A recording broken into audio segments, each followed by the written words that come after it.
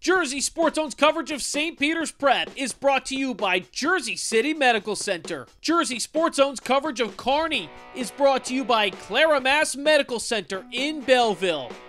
Not a parking spot to be found, the stands are packed in Hudson County for one of the most anticipated matches of the week. It is big time between Kearny and St. Peter's Prep.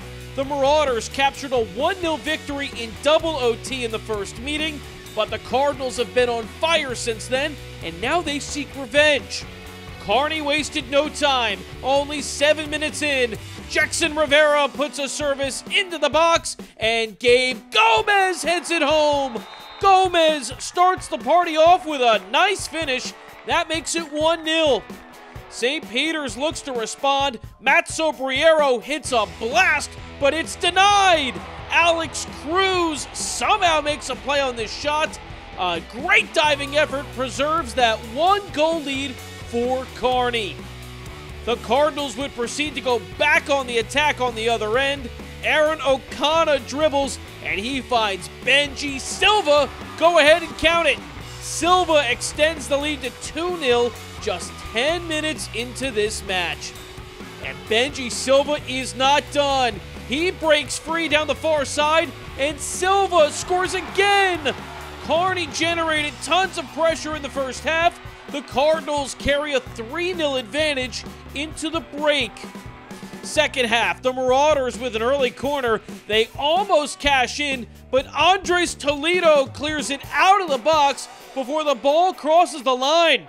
That is a close call, no doubt about it, but it looks as if it does stay out. It's a tough missed chance right there from St. Peter's on the doorstep. After that, Kearny smelled blood in the water. Gabe Gomez with space again. This one, a certified rocket. Wow! That's the second goal of the night for Gabe Gomez. Go ahead and make it 4 0 Kearny. The Kardinals were not done. Aaron O'Connor lines up for the free kick. He shoots and scores! The Kardinals created immense pressure Wednesday night. This goal is the dagger in the latest chapter of St. Peter's and Kearny. 5 0 is the final. Kearny has won six straight games since their season opening loss to the Marauders. A statement win in front of their home crowd is just what they needed.